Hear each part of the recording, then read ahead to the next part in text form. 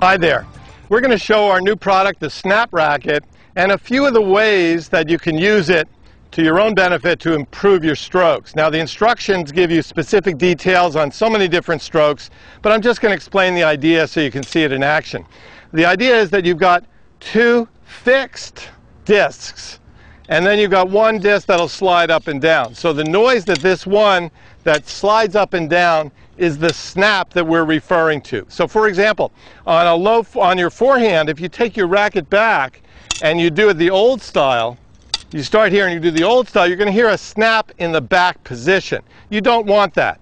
In the modern game of tennis, you want to hold that racket up, have continuous motion, and hear the snap right around the point of contact. Listen again.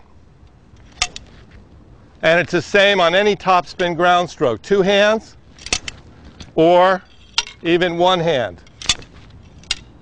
On a slice backhand, it's a little different. You're going to hear one snap and then perhaps a second snap after. Take a listen. One snap at contact, and then if your racket's up, it's going to slide slowly back down.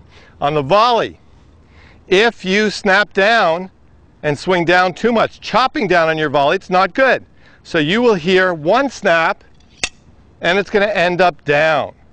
Rather, you'd like to have two snaps, one at contact and then it's going to slide back down because your racket finishes above the wrist.